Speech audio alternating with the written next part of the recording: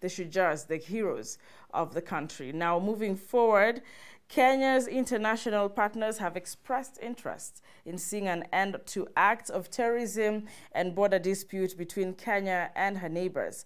While visiting the deputy president at his current residence, Britain Prime Minister Jane Marriott said it is the desire of Britain to see Kenya's coexist uh, uh, harmoniously rather with her neighbors after and of course with the solving of border disputes. Let's take a look at this story.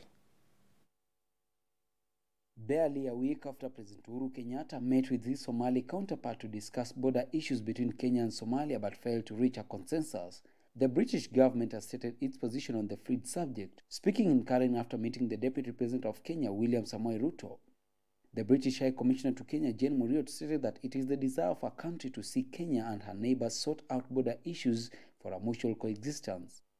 Marriott further stated that the only way the border issue can be resolved between Kenya and Somalia is through dialogue. There is the, the ICJ case and uh, other issues along the border to mm. be resolved, but we hope that uh, that will be the start of uh, a new phase in dialogue between, uh, between your countries. The Deputy President, on his part, emphasized on the need for Britain to help Kenya in guarding its border from extremist groups like Al Shabaab, whose attacks have seen so many lives lost in Kenya and the volatile Somalia region.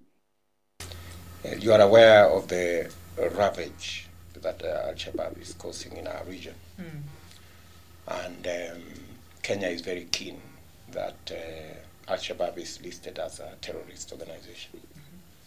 so that we can uh, elevate the fight against uh, Al Shabaab. And we would really look forward to the support of the UK on that matter so that. Um, there is a proper recognition of the real threat mm. that the Al Shabaab uh, poses to not just Kenya.